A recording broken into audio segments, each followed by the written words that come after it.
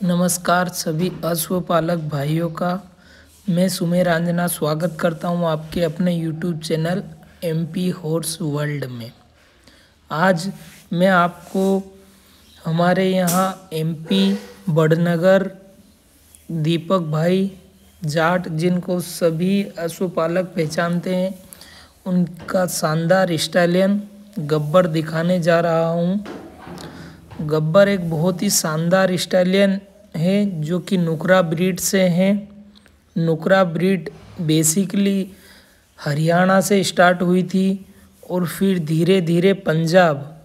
पंजाब में नुकरों की इतनी ब्रीडिंग हुई कि पंजाब को नुकरों का गढ़ कहा जाता है, जो सबसे ज़्यादा स्टालियन और अधिक बेस्ट से बेस्ट क्वालिटी पंजाब में हुई। इसीलिए पंजाब को बेसिकली नुकरा को पंजाब की ब्रीड कहा जाता है। परंतु पिछले कुछ सालों से हमारे मध्य प्रदेश में नुकरा ब्रीड का इतना क्रेज़ हुआ है कि हाँ एक से बढ़कर एक स्टालियन और घोड़ियाँ बहुत ही शानदार क्वालिटी वाली और हाइट वाली घोड़ियाँ मिली। एक से एक चैम्पियन स्टालियन हुए और बेसिकली हमारे मध्य प्रदेश उज्जैन इंदौर क्षेत्र में नुकरों का बहुत ही ज़्यादा क्रेज़ है। और दीपक भाई का ये स्टालियन गब्बर, जो कुछ पहले ही, कुछ समय पहले ही इनके फार्म पे आया था यह समथिंग आठ, नौ महीने हुए होंगे इसको। जब ये आया था, तब इसकी हालत थोड़ी सी डाउन थी, पर दीपक भाई को क्रेडिट जाता है इस स्टालियन को इस तरह से तैयार करने में। इनके हाथों में कुछ जादू है, जो भी स्टालियन इनके घर आता है, वो बहुत ही शानदार बन जाता है।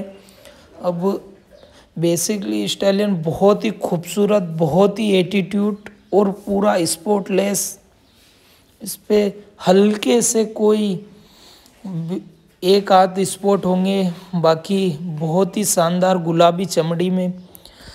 और इसका एटीट्यूड बहुत ही प्यारा है।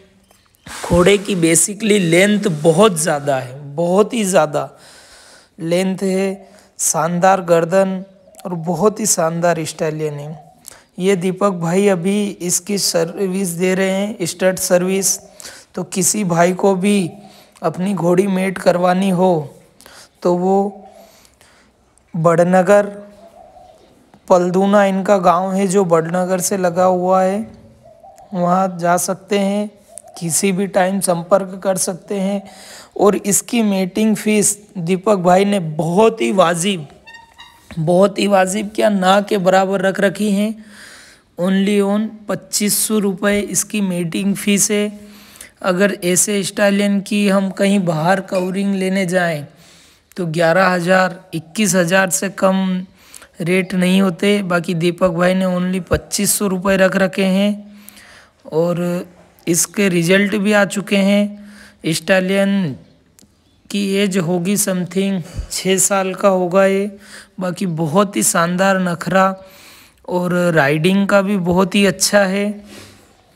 ब्रीडिंग का भी बहुत ही अच्छा है। बहुत ही शानदार स्टाइलियन और एक बार सभी भाई कमेंट कर कर ज़रूर बताएँ कि आपको घोड़ा कैसा लगा।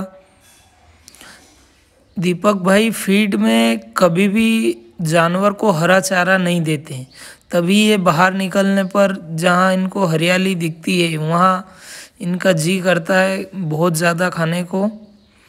बाकी इसका एटीट्यूड मुझे पर्सनली बहुत ही अच्छा लगा। घोड़ा जहाँ खड़ा रह जाता है, वहाँ मूर्ति के जैसा लगता है। अभी अगले साल ये सारंगखेड़ा मेला में आपको देखने को मिलेगा। धन्यवाद।